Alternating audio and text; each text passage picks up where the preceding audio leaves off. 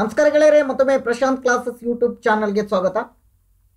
ಈಗ Karnataka examination authority K E A K E A ಮತ್ತು K P S C ಇನ್ನು ಇತರೆ ಇತರೆ ಎಕ್ಸಾಮ್ಸ್ಗಳನ್ನು ಕಾಲ್ಫಾರ್ಮ್ ಮಾಡಿರ್ತಾರೆ. ಅದರಲ್ಲಿ ಈಗ ಸದ್ಯ ಕೆ ಇ ಎದಲ್ಲಿ ಕಾಲ್ಫಾರ್ಮ್ ಮಾಡಿದ್ದಾರೆ ನಿಗಮ ಮಂಡಳಿಗಳಲ್ಲಿ. ನಿಗಮ ಮಂಡಳಿಗಳಲ್ಲಿ ಬಿ ಗ್ರೂಪಿಂದ ಬಿದಿಂದ ಸಿ ಗ್ರೂಪ್ವರೆಗೆ ಎರಡು ಪೋಸ್ಟ್ಗಳಿದ್ದಾವೆ. ಅದರಲ್ಲಿ ಮುಖ್ಯವಾಗಿ ಎರಡು ರೀತಿಯಾದಂಥ ಹಂತವನ್ನು ಮಾಡಿದ್ದಾರೆ. ಒಂದು ಕಾಮನ್ ಸಿಲೆಬಸ್. ಕಾಮನ್ ಸಿಲೆಬಸ್ಸಲ್ಲಿ ಏನು ಬರ್ತದೆ? G K. ಎಲ್ಲ ಹುದ್ದೆಗಳಿಗೂ ಜಿ ಕೆಯನ್ನು ಅಪ್ಲೈ ಮಾಡಿದ್ದಾರೆ. ಎರಡನೇ ಪೇಪರ್ ನಿರ್ದಿಷ್ಟ ಪತ್ರಿಕೆ. ನಿರ್ದಿಷ್ಟ ಪತ್ರಿಕೆ. ಅಂದರೆ ಯಾವರು ಎಕ್ಸಾಮನ್ನು ಕಂಡಕ್ಟ್ ಮಾಡ್ತಾರೋ ಆ ವಿಷಯಕ್ಕೆ ಸಂಬಂಧಪಟ್ಟಿದ್ದು. ಮೂರಂಥ ವಿಷಯ ನೋಡೋದಾದರೆ ಸಾಮಾನ್ಯ ಮತ್ತೊಂದು ಸಾಮಾನ್ಯ ಪತ್ರಿಕೆಯನ್ನು ಮಾಡಿದ್ದಾರೆ. ಅದರಲ್ಲಿ ಸಾಮಾನ್ಯ ಕನ್ನಡ ಕನ್ನಡ, ಸಾಮಾನ್ಯ ಇಂಗ್ಲೀಷ್ ಇಂಗ್ಲೀಷ್ ಮತ್ತು ಕಂಪ್ಯೂಟರ್. ಕಂಪ್ಯೂಟರ್ ಮೂರು ಹಂತವನ್ನು ಮಾಡಿದ್ದಾರೆ. ಅದಕ್ಕಾಗಿ ಸಾಮಾನ್ಯ ಕನ್ನಡದಲ್ಲಿ ನಮಗೆ ವರ್ಣಮಾಲೆಯಿಂದ ಈ ವಿಡಿಯೋದಲ್ಲಿ ಸ್ಟಾರ್ಟ್ ಮಾಡ್ತಾ ಹೋಗುವ. ಮುಖ್ಯವಾಗಿ ವರ್ಣಮಾಲೆಗಳು, ಸಂಕ್ಷಿಪ್ತವಾಗಿ ಇದು ಎಲ್ಲರಿಗೂ ಗೊತ್ತಿರ್ತದೆ. ನಾನು ಶಾರ್ಟ್ಕಟ್ ಆಗಿ ಹೇಳ್ತೇನೆ ಇದೊಂದು ವಿಡಿಯೋವನ್ನು ನೋಡಿಕೊಂಡ್ರೆ ಐದು ನಿಮಿಷದ ತನಕ ವಿಡಿಯೋ ಮಾಡ್ತೇನೆ. ಈ ವಿಡಿಯೋವನ್ನು ನೋಡಿಕೊಂಡ್ರೆ ವ್ಯಾಕರಣ ಬಗ್ಗೆ ಸಂಪೂರ್ಣವಾದಂಥ ಒಂದು ಮಾಹಿತಿ ನಿಮಗೆ ದೊರೆಯುತ್ತದೆ. ಹಾಗಾದರೆ ಕನ್ನಡ ವರ್ಣಮಾಲೆಗಳು ಕನ್ನಡ ವರ್ಣಮಾಲೆಗಳು ಎಷ್ಟಿವೆ? ಓಕೆ ನಲವತ್ತೊಂಬತ್ತು ಅಕ್ಷರಗಳನ್ನು ನಾವು ಕನ್ನಡ ವರ್ಣಮಾಲೆಯಲ್ಲಿ ನೋಡ್ಬೋದು. ಅಕ್ಷರಗಳನ್ನು, ನಲವತ್ತೊಂಬತ್ತು ಅಕ್ಷರಗಳು. ಆ ನಲವತ್ತೊಂಬತ್ತು ಅಕ್ಷರಗಳಲ್ಲಿ ನಲವತ್ತೊಂಬತ್ತು ಅಕ್ಷರಗಳಲ್ಲಿ ಸ್ವರಗಳ ಸಂಖ್ಯೆ ಎಷ್ಟು? ಮತ್ತು ವ್ಯಂಜನಗಳ ಸಂಖ್ಯೆ ಎಷ್ಟು? ಓಕೆ ಸ್ವರಗಳ ಸಂಖ್ಯೆ ನೋಡೋದಾದರೆ ಸ್ವರಗಳು. ಸಂಕ್ಷಿಪ್ತವಾಗಿ ಹದಿಮೂರು. ವ್ಯಂಜನಗಳು ಇಪ್ಪತ್ತ ಐದು ವ್ಯಂಜನಗಳನ್ನು ನಾವು ನೋಡ್ಬೋದು. ವ್ಯಂಜನಗಳು ಇಪ್ಪತ್ತೈದು. ಮತ್ತು ಮೂರನೇ ಭಾಗ ಮೂರನೇ ಭಾಗ ಯೋಗವಾಹಕಗಳು. ಯೋಗವಾಹಕಗಳು ಎಷ್ಟಿದ್ದಾವೆ ಎರಡಿದ್ದಾವೆ ಯೋಗ ವಾಹಕಗಳು ಎರಡು. ಇಷ್ಟನ್ನು ತಿಳ್ಕೊಳ್ಳಿ.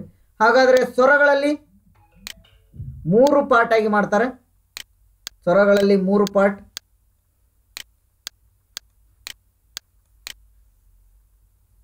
ರಸ್ವ ಸ್ವರಗಳು ರಸ್ವ ಸ್ವರಗಳು ಎಷ್ಟಿವೆ? ಆರು. ದೀರ್ಘ ಸ್ವರಗಳು ಎಷ್ಟಿವೆ? ಏಳು. ಪ್ಲುತಾಕ್ಷರಗಳು.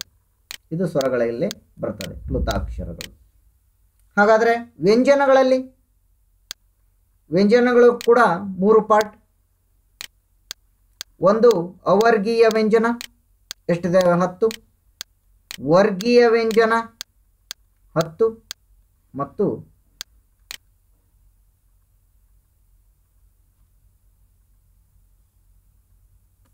ಅವರ್ಗೀಯ ವ್ಯಂಜನ ವ್ಯಂಜನ, ಅಲ್ಪಪ್ರಾಣ ಮಹತ್ವಪ್ರಾಣ ಅಲ್ಪಪ್ರಾಣ, ಮಹಾಪ್ರಾಣ. ಸರ್, ಇಲ್ಲಿ ರಾಂಗ್ ಹೇಳಿದೆ ನಾನು. ಮಹಾಪ್ರಾಣ, ಹತ್ತು. ಮತ್ತು ಅವರ್ಗೀಯ ವ್ಯಂಜನ. ಎಷ್ಟಿದ್ದಾವೆ ಒಂಬತ್ತಿದ್ದಾವೆ ಇದು ತಿಳ್ಕೊಂಡ್ರಿ. ನಂತರ ಯೋಗವಾಹಕಗಳಲ್ಲಿ ಎರಡು ರೀತಿ.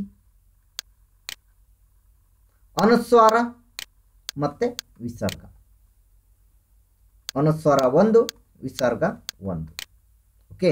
ಅಂ ಆಹ ಇದು ಒಂದು ಆ, ವ್ಯಾಕರಣಾಂಶದ ಒಂದು ಪದ್ಧತಿಯಾಗಿರುತ್ತದೆ ವ್ಯಾಕರಣಾಂಶದ ಪದ್ಧತಿಗಳಲ್ಲಿ ಒಟ್ಟು ನಲವತ್ತ ಒಂಬತ್ತು ಅಕ್ಷರಗಳು, ಹದಿಮೂರು ಸ್ವರಗಳು ಮೂವತ್ತ್ನಾಲ್ಕು ವ್ಯಂಜನಗಳು, ಎರಡು ಯೋಗ ವಾಕ್ಗಳು. ಕ್ವಶನ್ಸ್ ಹೇಗೆ ಬರ್ತದೆ ಸ್ವರಗಳಲ್ಲಿ? ಸಿಂಪಲ್ ಆಗಿ. ಕ್ವಶನ್ಸ್ ಹೇಗೆ ಬರ್ತದೆ? ಈ ವರ್ಣಮಾಲೆಯಲ್ಲಿ ಕ್ವಶನ್ಸನ್ನು ಹೇಗೆ ಕೇಳ್ಬೋದು? ವ್ಯಂಜನಾಕ್ಷರಗಳಲ್ಲಿ ವ್ಯಂಜನಾಕ್ಷರಗಳಲ್ಲಿ ವ್ಯಂಜನಾಕ್ಷರಗಳಲ್ಲಿ ಅಲ್ಪ ಪ್ರಾಣಗಳ ಸಂಖ್ಯೆ ಎಷ್ಟು? ಅಲ್ಪ ಪ್ರಾಣಗಳ ಸಂಖ್ಯೆ ಎಷ್ಟು ಅಂತ ಬರ್ತದೆ. ಎಷ್ಟಿದೆ ಅಲ್ಪ ಪ್ರಾಣಗಳ ಸಂಖ್ಯೆ? ನಾಲ್ಕು ಆಪ್ಷನ್ನಲ್ಲಿ ಎ ಹತ್ತು, ಬಿ ಹನ್ನೆರಡು, ಸಿ ಹದಿಮೂರು, ಡಿ ನಾಲ್ಕು. ಯಾವುದು? ಸರಿಯಾದ ಉತ್ತರ ಎ ಹತ್ತು. ಓಕೆ ಎರಡನೇ ಕ್ವಶನ್ಸನ್ನು ಯಾವ ರೀತಿಯಾಗಿ ಕೇಳ್ಬೋದು? ನ್ಯ ನ ನ ಇವು ಯಾವುವು ಇವು ಯಾವುವು ಎ ಆಪ್ಷನ್ ಅಲ್ಪ ಪ್ರಾಣ ಬಿ ಆಪ್ಷನ್ ಮಹಾಪ್ರಾಣ ಸಿ ಆಪ್ಷನ್ ಸ್ವರಗಳು ಡಿ ಆಪ್ಷನ್ ಅನುನಾಶಿಕಗಳು ಹಾಗಾದರೆ ನಾಸಿಕಗಳು. ಸರಿಯಾದ ಉತ್ತರ ಡಿ ಅನುನಾಸಿಕಗಳು. ಈ ರೀತಿಯಾದಂಥ ಪ್ರಶ್ನೆ. ಸಿಂಪಲ್ ಪ್ರಶ್ನೆ ಅಂತ ಕೇಳ್ತಾರೆ? ಅದರಲ್ಲಿ ನಾನು ಇದನ್ನು ಮಾಡ್ಕೊಂಡು ಮತ್ತೊಮ್ಮೆ. ಹೊಸ ಭಾವ. ಹೊಸ ಭಾವ. ಈ ಪದದಲ್ಲಿ, ಈ ಒಂದು ಶಬ್ದದಲ್ಲಿ, ಈ ಶಬ್ದದಲ್ಲಿ ಶಬ್ದದಲ್ಲಿ ಮಹಾಪ್ರಾಣಾಕ್ಷರ ಯಾವುದು? ಮಹಾ ಪ್ರಾಣಾಕ್ಷರ. ದೀರ್ಘ ಸ್ವರ ಓಕೆ ಮಹಾಪ್ರಾಣಾಕ್ಷರ ಯಾವುದು? ಎ ಹೋ, ಬಿ ಸ ಭಾ, ಡಿ ವ. ಏನಂತ ಉತ್ತರಿಸ್ತೀರಾ? ಸರಿಯಾದ ಉತ್ತರ ಸಿ ಬಾ ಅಂತ ಉತ್ತರಿಸ್ತಾರೆ. ಇದು ವರ್ಣಮಾಲೆಯಲ್ಲಿ ಕೇಳಬಹುದಂಥ ಸ್ವರಗಳು. ಹ್ರಸ್ವ ಸ್ವರಗಳ ಸಂಖ್ಯೆ ಎಷ್ಟು ಅಂತ ಕೇಳ್ತಾರೆ? ಅಥವಾ ದೀರ್ಘ ಸ್ವರಗಳ ಸಂಖ್ಯೆ ಎಷ್ಟು ಕೇಳ್ತಾರೆ? ಇದು ಸ್ವರಗಳಲ್ಲಿ ಕೇಳಬಹುದಂಥ ಪ್ರಶ್ನೆ ಆಗಿರುತ್ತದೆ ಇಷ್ಟು ಸಾಕಾಗ್ತದೆ ಸ್ವರಗಳ ಬಗ್ಗೆ ನೀವು ತಿಳ್ಕೊಂಡ್ರೆ. ವರ್ಗೀಯ, ಅವರ್ಗೀಯ ಅಂತ ತಿಳ್ಕೊಂಡ್ರೆ ಸಾಕಾಗ್ತದೆ. ಒಟ್ಟು ಅಲ್ಪ ಪ್ರಾಣಗಳ ಸಂಖ್ಯೆ ಎಷ್ಟು ಅಂತ ತಿಳ್ಕೋಗ್ತದೆ. ಯೋಗವಾಹಕಗಳು ಅಂದರೆ ಏನು ಅಂತ ಇದೇ ರೀತಿಯಾಗಿ ಏನು ಪ್ರಶ್ನೆಯನ್ನು ಕೇಳ್ಬೋದು. ಇದು ಡೈರೆಕ್ಟಾಗಿ ಕ್ವಶನ್ಸ್ ಇರ್ತದೆ. ಇನ್ನು ಇಂಡೈರೆಕ್ಟಾಗಿ ವರ್ಣಮಾಲೆಯಲ್ಲಿ ಯಾವ ರೀತಿಯಾದಂಥ ಪ್ರಶ್ನೆಗಳು ಬರ್ತವೆ ಅದನ್ನು ಹೇಳೋದಾದರೆ ಸ್ವತಂತ್ರವಾಗಿ ಉಚ್ಚಾರವಿಲ್ಲದೆ, ಸ್ವತಂತ್ರವಾಗಿ, ಇಲ್ಲಿ ಪೂರ್ತಿ ಬಡಿತ ಹೋದರೆ ವಿಡಿಯೋ ದೊಡ್ಡದಾಗ್ತದೆ, ಅದಕ್ಕಾಗಿ ನಾನು ಸಂಕ್ಷಿಪ್ತವಾಗಿ ಬರ್ತೇನೆ. ಸ್ವತಂತ್ರವಾಗಿ ಉಚ್ಚಾರವಿಲ್ಲದೆ ಉಚ್ಚಾರವಿಲ್ಲದೆ, ವರ್ಣಮಾಲೆಯಲ್ಲಿ ಕೇಳಬಹುದಂಥ ಮುಖ್ಯವಾದಂಥ ಪ್ರಶ್ನೆಗಳು. ಸ್ವರದ ಮುಂದೆ ಸ್ವರ ಬಂದು, ಸ್ವರದ ಮುಂದೆ ಸ್ವರ ಬಂದು ಬಂದಾಗ ಬಂದಾಗ ಮಾತ್ರ ಉಚ್ಚಾರವಾಗ ಅಕ್ಷರಗಳನ್ನು, ಮಾತ್ರ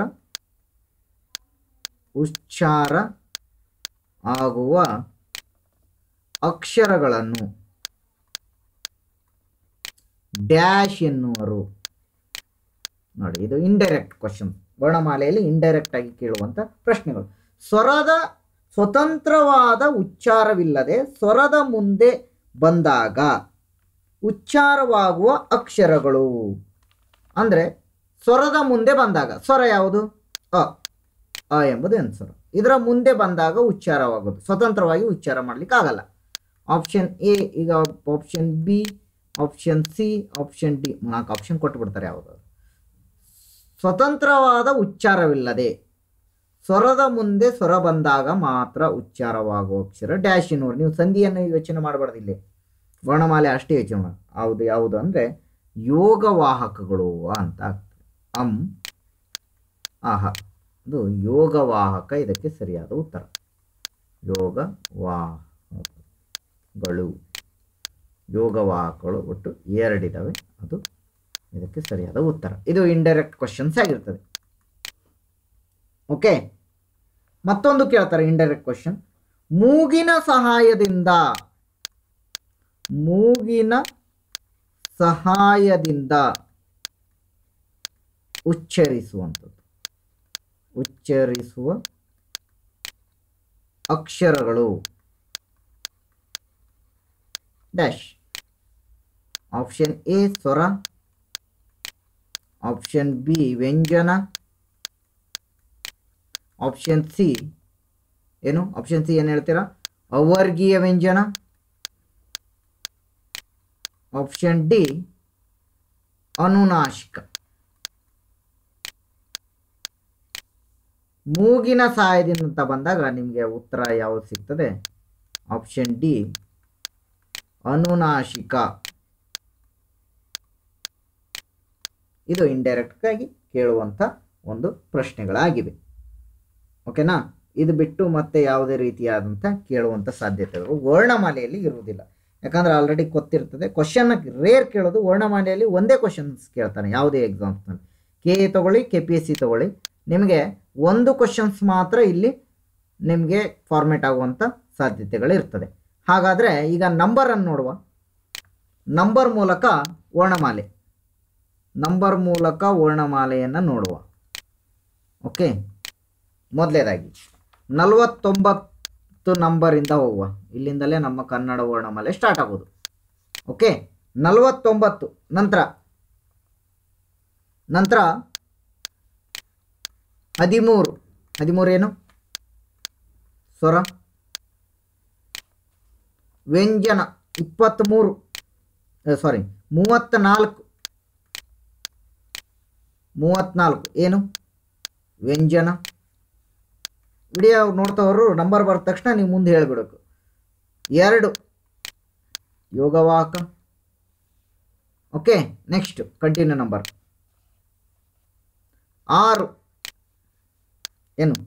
ಹ್ರಸ್ವ ಸ್ವರ ನೆಕ್ಸ್ಟ್ ನಂಬರ್, ಏಳು ದೀರ್ಘ ಸ್ವರ ನೆಕ್ಸ್ಟ್ ನಂಬರ್ ನೆಕ್ಸ್ಟ್ ನಂಬರ್ ಹತ್ತು. ಅಲ್ಪಪ್ರಾಣ ನೆಕ್ಸ್ಟ್ ನಂಬರ್ ಹತ್ತು. ಮಹಾಪ್ರಾಣ. ನೆಕ್ಸ್ಟ್ ಐದು. ಅನುನಾಸಿಕ. ನೆಕ್ಸ್ಟ್ ಒಂಬತ್ತು. ಅವರ್ಗೀಯ.